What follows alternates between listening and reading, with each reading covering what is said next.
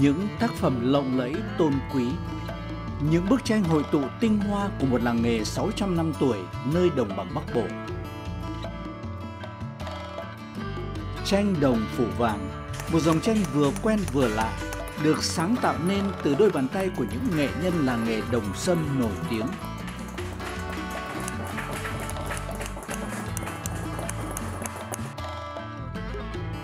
Làng Đồng Sâm thuộc huyện Kiến Sương, tỉnh Thái Bình, một mảnh đất giàu truyền thống với nghề chạm bạc, đồng, trải trên địa bàn ba xã Hồng Thái, Lê Lợi và Trà Giang.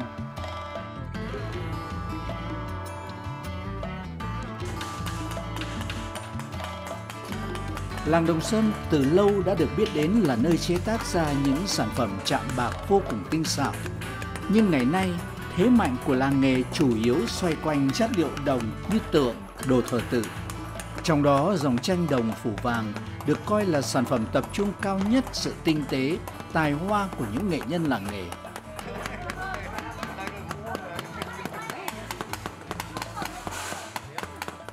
Tranh đồng vốn đã có từ lâu đời, không chỉ Đồng Sâm, Thái Bình, một số làng nghề khác ở miền Bắc như Đại Bái, Bắc Ninh hay Ý Yên, Nam Định cũng có nghề làm tranh đồng truyền qua bao thế hệ.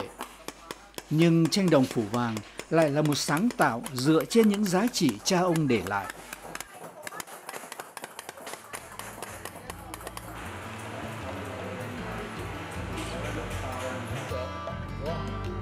Anh Vũ Trọng Tuấn là một người con của làng Trạm Bạc Đồng Sâm. Sinh ra trong một gia đình có truyền thống làm nghề, học xong đại học, anh quyết định quay về quê hương phát triển các sản phẩm chạm đồng cao cấp, trong đó tập trung vào dòng tranh đồng phủ vàng. Uh, tranh của mình tạo ra ấy, thực ra ấy, nó không phải là một dòng tranh mới gì cả mà nó chỉ là mới những cái cũ thôi. Thì mình thấy là hiện tại ở thị trường Việt Nam chưa có dòng tranh hạng sang nào hoặc là đã có nhưng chưa phù hợp với lại nội thất hạng sang bây giờ. Mình mới cải tiến những sản phẩm cũ là sản phẩm tranh đồng để nó thành mạ vàng như bây giờ. Ở đây mình trân quý được giá trị văn hóa truyền thống là cái tranh đồng rồi và vì tôn vinh nó lên bằng ờ, cách là phủ vàng để chế tác nên một bức tranh đồng phủ vàng phải trải qua rất nhiều công đoạn với nhiều nghệ nhân thực hiện. Tấm đồng dùng làm tranh được đặt lên bàn chám, cố định bởi lớp xi làm từ nhựa thông và bột đá. Trong khi thực hiện chạm hay còn gọi là thúc tranh, người thợ dùng đèn xì nướng cho tấm đồng mềm ra.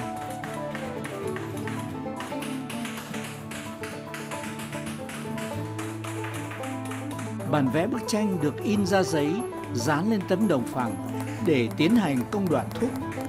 Từ bản vẽ giấy, từng đường nét của bức tranh sẽ được chạm trên mặt đồng.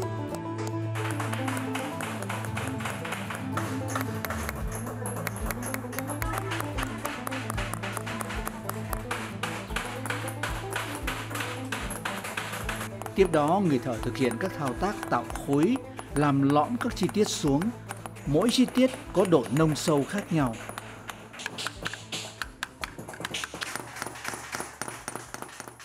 Trong một cái ờ, bức tranh ấy, mình đã phác họa lên rồi thì mình ờ, sẽ phải nhìn qua để mà biết được cái độ nông sâu hay cái độ nổi của cái bức tranh. Đằng xa thì nó mờ mờ dần và những cái phần gần thì nó lại phải phải cho nổi lên. Cái khó nhất là mình vừa thúc đôi khi mình lại phải vừa phải phải vẽ thêm những cái chi tiết thêm cho nó thêm chỗ kia và bớt cho nó bớt chỗ kia đi để cho cái bức tranh nó hoàn chỉnh cho nó có sự hài hòa đôi khi nó không bị cứng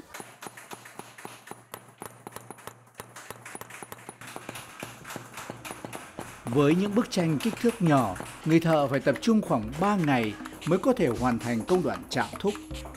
Nhưng với những bức tranh đồng lớn hơn như thế này, công đoạn thúc phải mất tới 8 ngày. Từng chi tiết của bức tranh dần hiện ra sống động trên tấm đồng tưởng như khô cứng. Có thể nói, đây chính là công đoạn khó nhất của quá trình làm tranh đồng phủ vàng. Chỉ có những người thợ giỏi, giàu kinh nghiệm mới có thể thực hiện.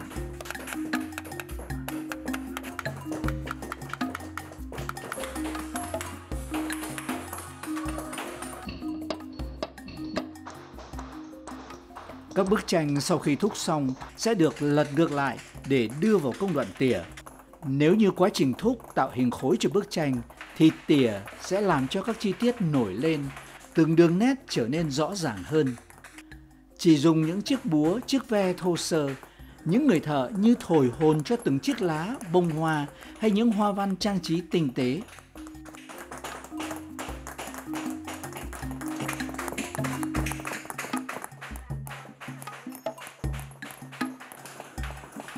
Điều đặc biệt ở làng Đồng Sâm là phụ nữ cũng tham gia vào công việc làm tranh đồng. Họ thường đảm nhận việc tỉa tranh, vốn là công đoạn đòi hỏi sự tỉ mẩn, chăm chút, kỹ lưỡng đến từng chi tiết nhỏ nhất. Phụ nữ thì tay nó cũng mềm mại hơn thì nó cũng tỉa nó cũng làm nhiều hơn còn đàn ông thì thường thường là họ thúc lên những cái bức tranh những cái cây cái hình để cho phụ nữ mình làm thì nó mềm mại cái tay thì nó làm đẹp hơn ví dụ là ờ, mình móc một cái lá đa thì mình tỉa thành một cái sống cái sống lá như một cái lá thật vậy tưởng tượng như một cái lá ở ngoài cây nó như nào thì mình làm nó theo như thế thì cái lá nó mới đẹp được Trải qua hai công đoạn quan trọng nhất là thúc và tỉa, những bức tranh đồng được tách ra khỏi bàn chám và đem đi làm sạch.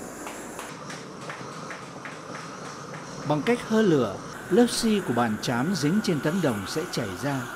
Đồng thời tấm đồng cũng trở nên mềm hơn, giúp cho việc làm phẳng bức tranh về sau.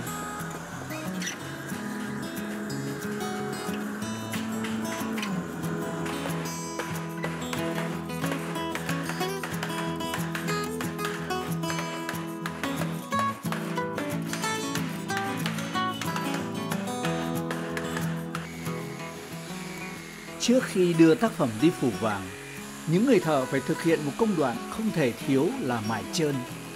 Quá trình mài mất đến vài tiếng đồng hồ hoặc cả ngày tùy từng sản phẩm. Công việc này đòi hỏi sự cẩn thận, kỹ càng, vừa không bỏ sót chi tiết, vừa không được làm mất đi các chi tiết nhỏ.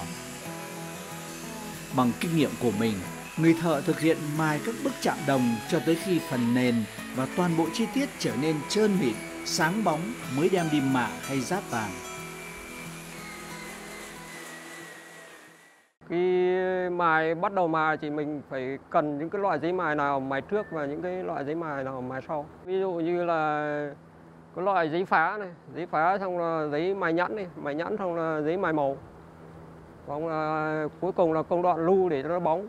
Bóng thì khi vào mạ vàng thì là cái bức tranh nó sẽ bóng lên. Mình mài không kỹ thì là khi mình mạ vàng lên thì là nó sẽ nổi những cái vết giấy mài lên, tức là nó không bóng thì là coi như là bức tranh đó lại phải làm lại cho nên là mình phải rất tỉ mỉ và từng khâu và từng công đoạn một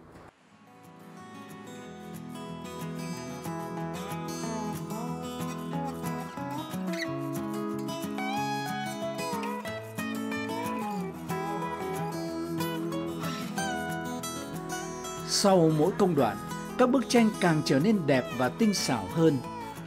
Để có được những tác phẩm vừa lấp lánh ánh kim, vừa mềm mại trong từng đường nét, thực sự là cả một quá trình sáng tạo đầy tâm huyết và công phu của những người thợ có đôi bàn tay điêu luyện.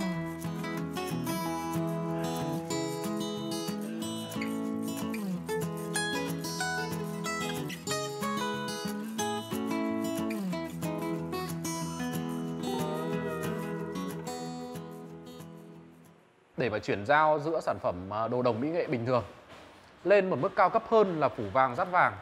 Là giá trị đầu tiên là cái khó khăn là giá của sản phẩm nó tăng lên rất là cao. Đồng nghĩa với việc là nó sẽ rất là kén khách. Cái thứ hai, theo mình thấy, đấy là về cái độ tinh xảo. Tranh vàng thì cần độ tinh xảo và tỉ mỉ hơn rất là nhiều so với tranh đồng.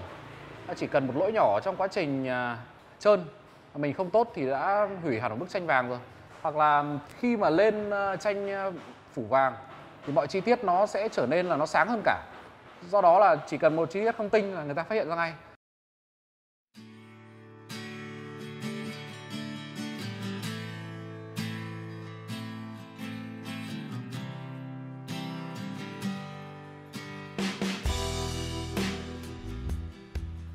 Những bức tranh đồng phủ vàng với nhiều chủ đề như tranh phong cảnh làng quê, tranh tư quý, tranh chữ, vừa gợi sự gần gũi thân thuộc, lại vừa mang nét sang trọng cao quý.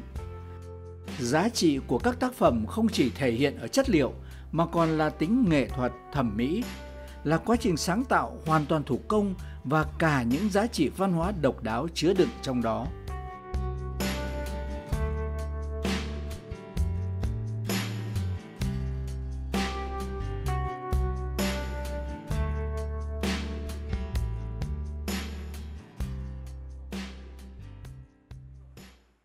Bây giờ cái kiến trúc nó rất là phát triển, nội thất cũng rất là phát triển. Sản phẩm thì ờ, rõ ràng là giàu truyền thống văn hóa rồi. Nhưng làm sao để mà nó đi cùng với lại cái hiện tại bây giờ? Đó là một bài toán thì người trẻ có muốn giải hay không thôi. Mình cũng là người trẻ cũng rất là làm mong muốn nó làm cái gì đấy nó khác biệt đi và nó có ý nghĩa về lâu về dài. Thái Bình, mảnh đất của những con người cần cù chất phác, mảnh đất của những người thợ thủ công điệu nghệ và tài hoa. Hàng trăm năm đã trôi qua, nghề chạm bạc chạm đồng ở làng Đồng Sâm Thái Bình vẫn được bảo lưu và gìn giữ. Thế hệ trẻ của Đồng Sâm ngày nay không chỉ tiếp tục kế thừa những tinh hoa từ lớp người đi trước mà còn tìm tòi sáng tạo để những giá trị văn hóa truyền thống được hồi sinh, tỏa sáng trong đời sống hiện đại.